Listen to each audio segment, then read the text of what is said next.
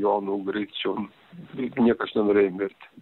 Žinoma, aš tuomet buvau, kaip sakyti, studentiokas, jis jau buvo žmogus subrendęs, galima sakyti.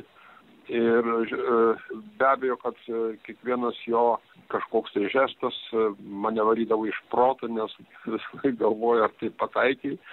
Na ir, ir galima sakyti, vis tik tai santykiai liko mūsų labai šilti po to. Man padarė didžiulį įspūdį jo jautrumas šviesai, jautrumas žmogaus veidui ir tas pajutimas atmosferos aikštelėje, kurią jis kūrė. Žmogus buvo beprotiškai įdomus, energingas, greitas, orientuodavosi labai, labai smagiai aikštelėje. Praktiškai visuomet būdavo autoritetas filmavimo grupėje. Tai be to turėjo šmaikštų liežuvį labai. Jisai labai jautė šviesą, tas man didžiulį įspūdį darė. Ir kai aš fotografuoti daugiau ėmiau, pastoviai visą laiką prisimindavau Jono dėmesį šviesai tai e, tas man padarė didžiulį įspūdį ir, ir iki šios dienos aš jaučiu tą malonumą šviesos fiksavimui, šviesos pastatymui, šviesos srautui, kurį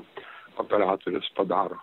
Aš turėjau tokią likimo dovaną, kad galėjau matyti ir stebėti Jono Griciaus darbą e, ir kaip žiūrovas, ir kaip bendrautorius. Nes, aišku, pirmiausia, aš ir mokiausi lietuvių kino poetikos iš jo filmų, jo nufilmuotų filmų ir, ir paskui aš jį pakviečiau uh, į vieną iš savo filmų. Tai čia buvo mūsų tokia labai trumpa pažintis, bet uh, nepaprastai praturtinanti pažintis, kuri man leido apskritai suprasti, kaip kino operatorius gali transformuoti pasaulį, erdvę, kaip gali Mm, atskleisti pasaulį, kaip gali pamatyti e, tą, užfilmuoti tiesiog tai, kas yra nematoma, tą tokį dievišką metafizinį prisilietimą, tą tokią dievišką tarsi pasaulio dimensiją. Tai, tai, tai visa tai buvo Jono Griciaus e, talentas, meistriškumas,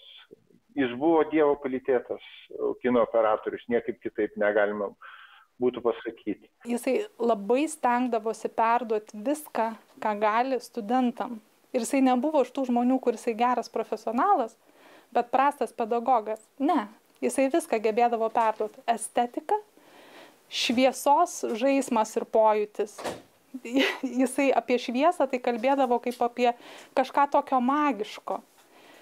A, disciplina, tai buvo iš tų žmonių, kur, kuris labai nuo pirmo kurso, nuo pirmos paskaitos leido suprasti, kad jeigu tu leidi savo vėluoti, vadinasi, tu negerbi kitų žmonių, tu dirbsi komandui, tu negali savo leisti vėluoti.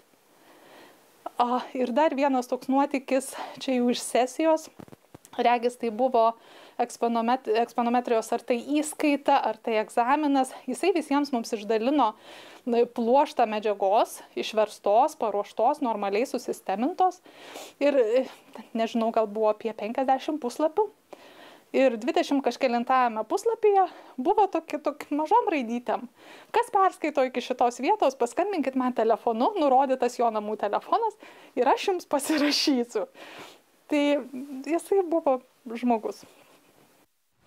Na, o dabar į mūsų laidą grįžta socialiniai tinklai, grįžta ir apsaugos skydeliai. Po daug laiko, tai. Evelina Stankūnaitė, laboje dienoje Lietuva po ilgos pertraukos, smagu tave matyti. Labai. Man irgi.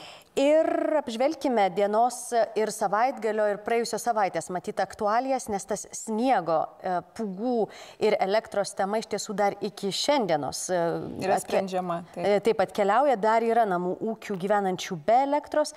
Ir tai sukėlė ir diskusijų, ir tam tikrų pasikarščiavimų, turbūt netgi socialiniuose tinkluose. Taip, socialiniuose tinkluose savaitgalį pasirodė toks įrašas, kuris buvo parašytas energijos skirstimo operatoriaus klientų aptarnavimo departamento